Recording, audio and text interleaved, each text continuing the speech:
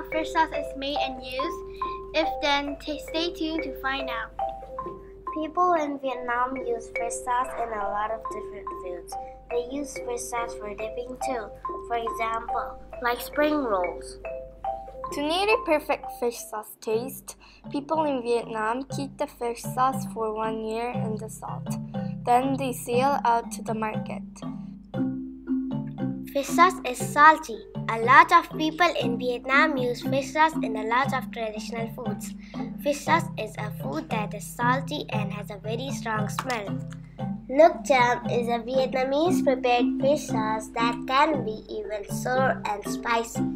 Nước mắm, nước chín để nguội, đường, chanh, tỏi và ớt. Chúng ta bắt đầu thực hiện.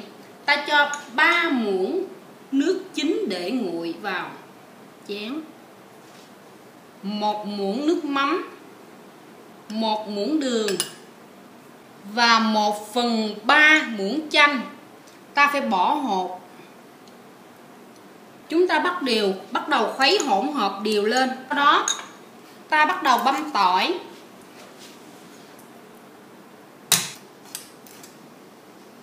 Ta cho tỏi vào chén nước mắm.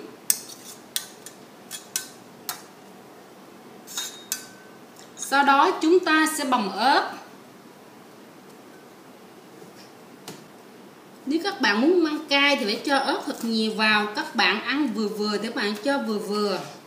Nên nhớ, tỏi và ớt là giai đoạn cuối cùng. Hãy bỏ vào thì ớt và tỏi sẽ nổi lên mặt mặt nước mắm. Chúng ta sẽ xem đẹp mắt. Chúng ta đã thực hiện xong chén nước mắm ăn cùng với chả giò dùng cho hai người ăn. Xin cảm ơn. Bye bye. Fish sauce is a big part of Vietnamese culture because it comes from the fish and salts off the sea off the local coast, and it is a vital ingredient in many Vietnamese dishes.